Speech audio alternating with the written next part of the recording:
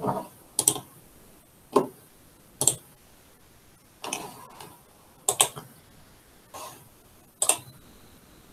everyone. So this um, class concerned with DC motors and servos and seeing how they work and uh, discovering how to code them. So I just run this here as a slideshow. So here we have a 180 degree servo motor. And it's essentially just a plastic case which contains um, gears, a printed board, amplifier, and there's a feedback potentiometer within this. So it's a potentiometer is just a variable resistor. We can uh, change resistance by um, moving the potentiometer. So uh, these have stop ends which prevent too much travel at the servo. So it can only um, rotate 180 degrees in either direction. That's the maximum we can do with that. Uh, at the base of the servo body are the wires. There's three which connect to the microprocessor or microbit. Um, board, there's an, an extra board that I'll show you now in a second. Uh, these are positive, negative, and signal. So we have three volts, which is usually the red there, the red wire that you see. Uh, the brown is the signal, that'll be varying in voltage. And then the earth then is uh, the third wire.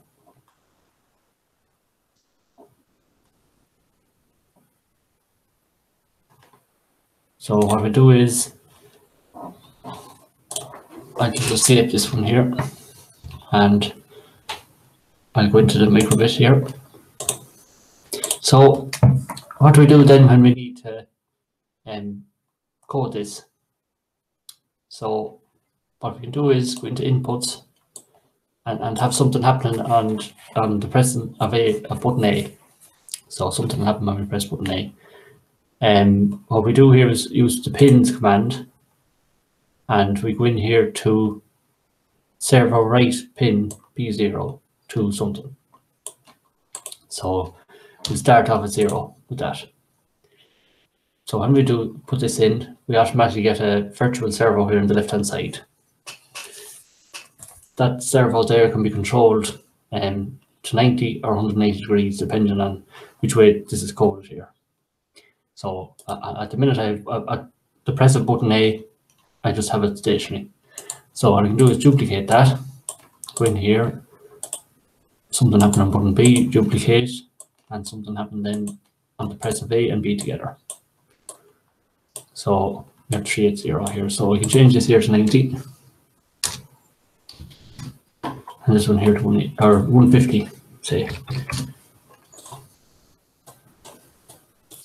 Uh, lower now for a second.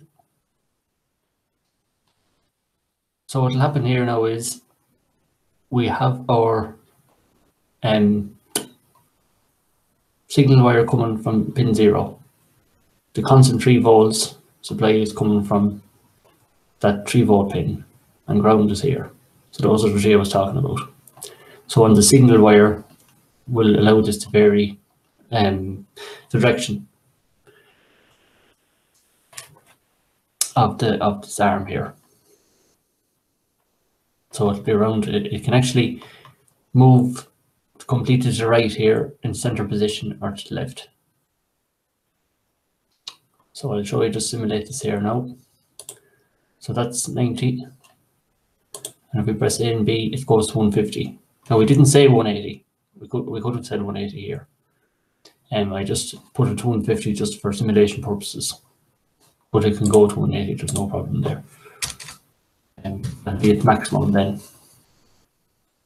As you see in a second, I press A, nothing happens. When I press B, it goes to 90. A and B, it goes to 180 to the full extent. When I press B, I can bring it anti-clockwise back around to 90 degrees and I press A, I can turn anti-clockwise back around to zero to uh, start position.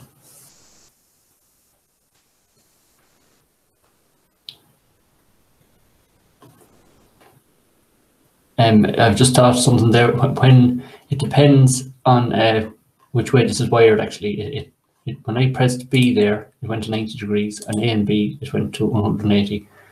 That's actually in a clockwise direction.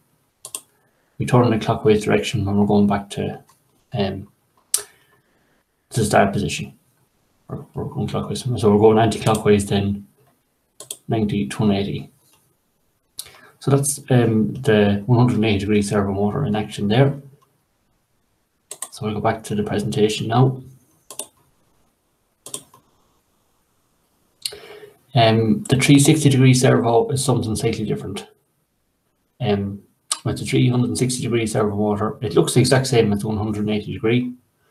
We need to um, we use a different with code, or it's um, it's controlled completely differently to the 180 degree. So what we have here is pulse width modulation, PWM control, um, for controlling this, this particular servo motor.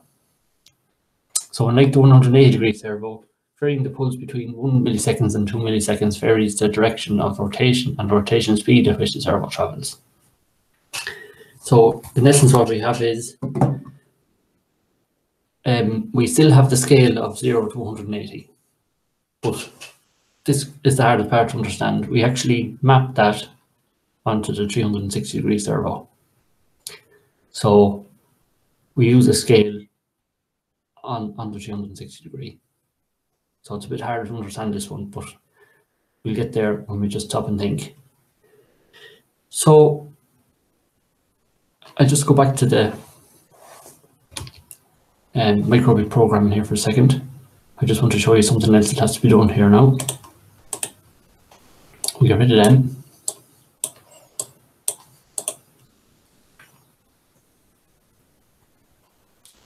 So in some uh, situations, the, um, the motor can be higher voltage that's used in the workshop. Sometimes we can use motors that um, use more than three volts. So what we can do is here is go into extensions. I already have it done now, but you go into extensions in the microbit, all in one robotics.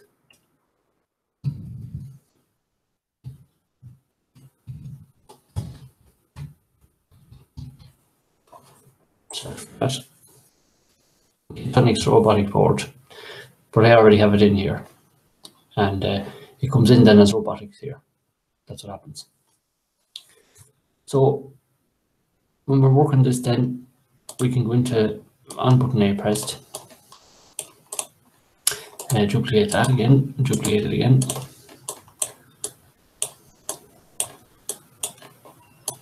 So B, A and B. And what we're going to this time then is we go into robotics here. We go into servos. So then we say set servo one. That's um, actually depending on, you can go from servo one to eight. So there's eight different servos on, on the board, on the robotics board. I'll show you that now in a second on the PowerPoint slides. Um, so we'll, we'll duplicate this one here. Duplicate it again. So if we set servo servo one to zero degrees, this time there's no simulation, but when we set servo one to zero degrees, what we're doing is we're moving at full speed in the clockwise direction on a 360 degree servo. I just leave that thought for a second now. Um, I'm just going to put 90 here and 90 here. On um, button B, when we press button B, nothing actually happens. Servo stopped at that stage. It, it doesn't do anything if we hit button B uh, in this particular situation. When we press button A and B, the servo will move anti-clockwise at full speed. So that's what will happen. If you download this code to the microbit, you can see this in action. I don't have a microbit here with me at the minute. But if you want to download this, like we did before, you go to download, X from that, into this,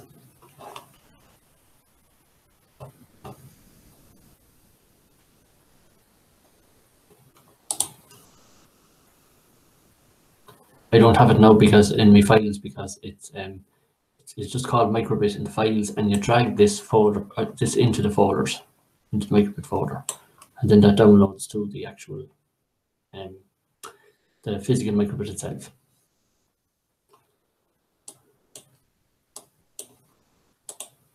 So what we need to do now next is just go back to the PowerPoint slide here.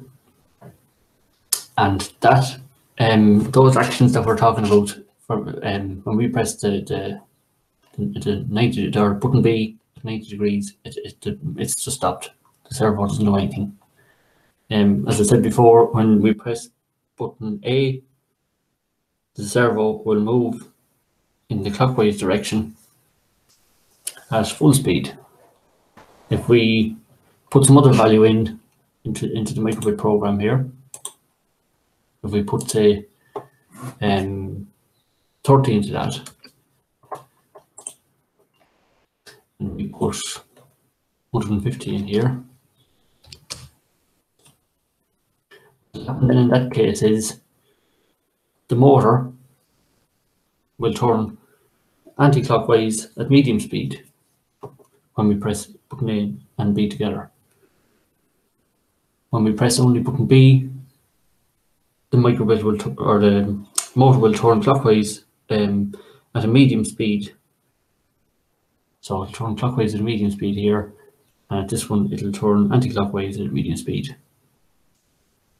And this line of code is run. And we download it and run it.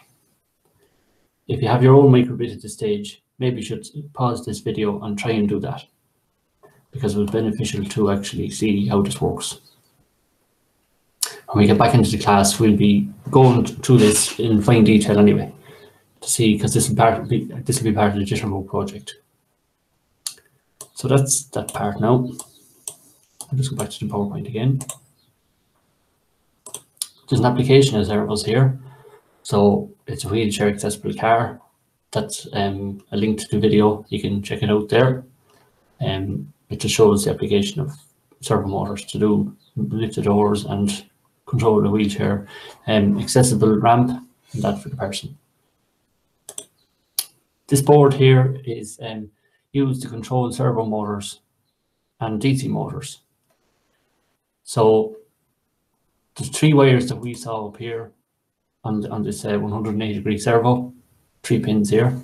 Those three pins click onto SV1 here, and that's servo 1.